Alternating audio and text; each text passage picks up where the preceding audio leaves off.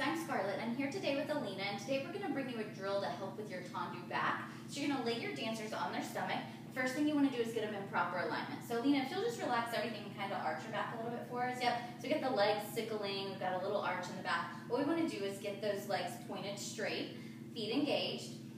Lower belly lifts, sacrum tucks under, rib cage closes. There we go, thank you. And then the hands are gonna be under the forehead and she's gonna look straight down at the floor, very nice. We're gonna continue to pull the belly in. So, we're gonna put the legs in first position, even though they're pointed, and she's gonna engage the legs. So first what we want is how long can we get this leg? Because dancers will often lift through a bent knee. So we want those two lines in the back of the knee already stretched just as she lays here. Lena, we're gonna do this front leg for them. So we're gonna stretch through the backs of the knees, lengthen through the toes, and lift the leg an inch or two, barely at all, and then rotate it, and then unrotate it, and then rotate it, and place it down. Let's try this other leg. So we're gonna lift it, rotate it a little more, unrotate back to the parallel, and then rotate again and place it down. Thank you, Alina. We are gonna do this drill many, many times.